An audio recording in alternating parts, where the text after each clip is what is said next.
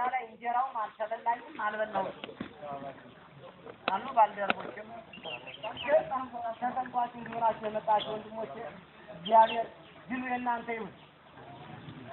አሁንም ቢሆን የወራሪ መንግስት ተነስና ከዚህ ገብቶ ባልተባለ አሉባልታ እየገባ ከዚህ ገመጠጤ መሀል ገብቶ ነበር። ከገመጠጤ ያወጣው በሽምግልና ነው ወጥቶ ሄደ እንጂ ከዚህ ገመጠጤ ተቀብሮ ነው የሚቀር የነበር፣ አቅሙም አይገኝ ነበር።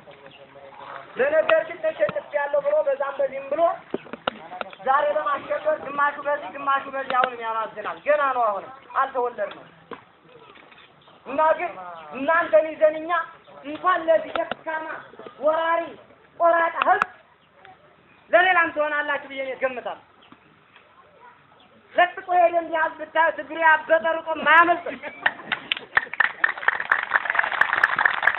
አንድ ጀምር ምችለው ከዚህ አንስያ የላቸው። ለነገር ግን የኛ ህብረተሰብ አንፍራ፣ ዘመዶች እንጠንቀቅ። በቃ ቀጭ እንበል። ለምንድን ነው የፈራ ነው? አሁን የኛ አስተዳደራው በጣም ጥሩ ነው ያስተባበረው። እርግጥ ወንድማችን ወንድማችን ግን ፈርቶ ነበር። አሁን ግን መመለሱን እኔ በጣም አደንቀዋል። አሁንም ከእናንተ ትላንትና ላይ አብሬው እያለሁ ወንድሜ ነው አባተ ንጉሴ የኔ ወንድሜ። ለምንድን ነው አብሮ ይሁን ስራውን ወደዛም ይስራ፣ የኛ መራጃችን ይሁን ብለናል። በቃ ግልጽ ያለ የት ሊሄድ ነው? እንደዚህ ብሎ ከገባ የኢህአዴግን ስራ እኛ እንጥለዋለን ማለት ዘበት ነው። የኢህአዴግን ስራ አሁንም እኔ እኔም የኢህአዴግ አመራር ነኝ። በቃ ለኢህአዴግ አሁን ደጋፊ ነው። ለዚህ አጥናፍ ቡድን ለዚህ ሌባ ቡድን ግን አልገዛም በሉ። አሁን አንገዛምም። አሁን ለምንድን ነው ለምንድን ነው የክልሉ የዞኑ የወረዳው ቡድን ሌባ ነው፣ የእኛ ህዝብ ደግሞ ሌባ ነው። ለምንድን ነው የሚሰርቅ? በስድስት መቶ ብር የተቀጠረ ህብረተሰብ ወይም የሲሳይን ወይም የአንዳርገውን ወይም የአያናን ቤት ብሎ መርቶ የሚያመጣው ለምንድን ነው? የእኛ ህዝብ ማትደርሱበት ለምንድን ነው? እናንተ ይህን ነገር ማወቅ እንድትችሉ እፈልጋለሁ።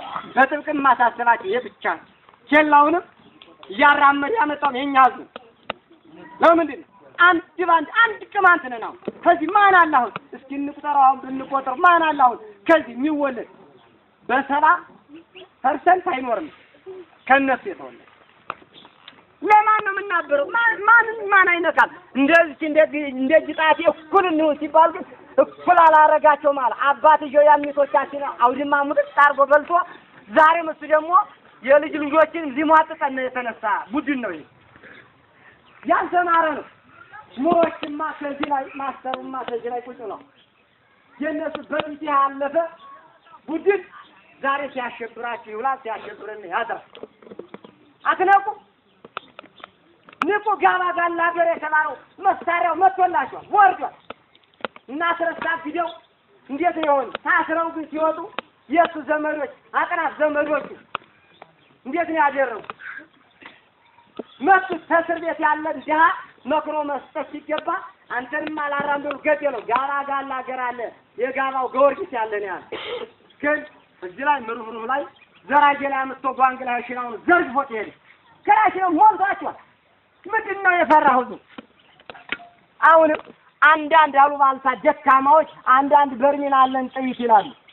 ወሬ ነው፣ ምንም የላቸውም። ጠበንጃቸው ልንገራችሁ ምን ይኮል ነው ጠበንጃቸው ወጨፎ ነው። ወደ ወደ ደንቢያ ብታልፍ ምንም የላቸው። ለእነዚህ ነው የምንፈራው የምትፈሩት ጎበዝ። አሁንም ንቁ። በጣም አስደስታችኛል። ተባረኩ። አሁንም አንደኝነታችሁ አንድ ይሁን።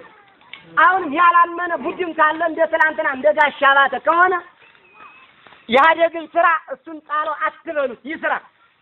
ሲሳይ የሚሰራ ነው፣ እኔ የምሰራ ነኝ። በቃ ኢህአዴግን ስራ አንለቅም። ኢህአዴግ ነው ለብሔር ብሔረሰቦች ያወረደው። ለነገር ግን ለዚህ ለወራሪ ቡድን ግን አንገዛም። በቃ አሁንም አንገዛም። በቃ